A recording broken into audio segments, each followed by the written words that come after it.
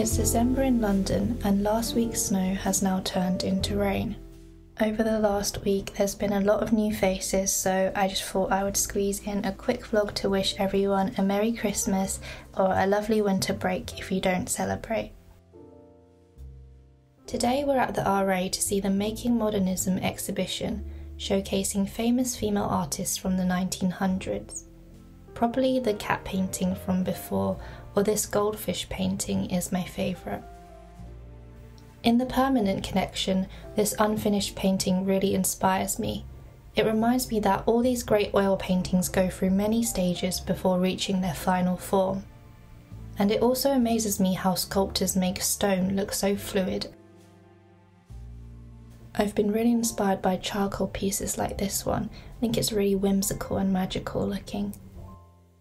Chinatown is only a 10 minute walk away, so we had a massive dinner, and by the time we finished, the sun had already set and the Christmas lights were shimmering.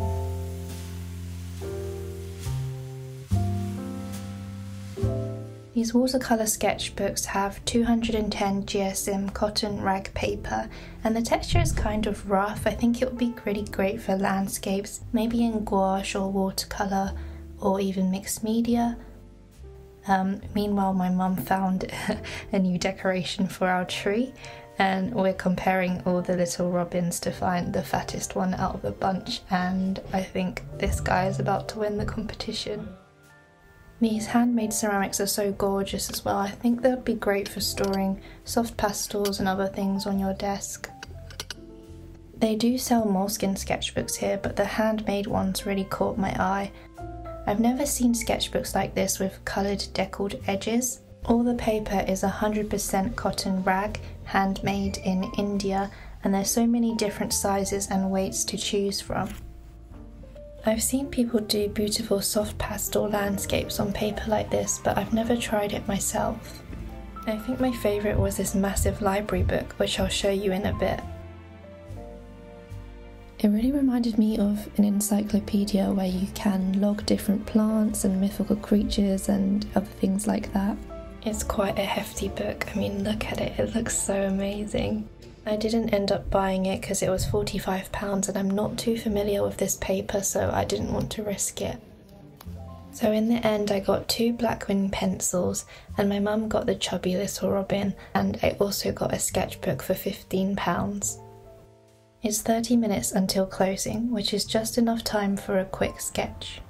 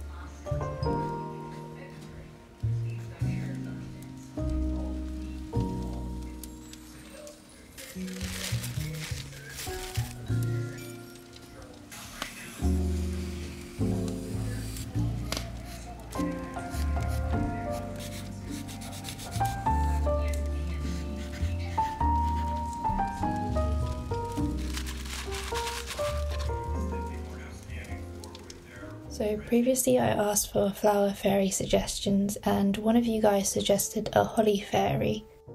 I've just done a draft sketch, so her cape is going to be dark green, but I can't decide if her dress should be white with green and red detailing, or if I should make her dress red to match the holly berries. So I'm planning to do these pieces in watercolour and I've done a couple of draft sketches so far.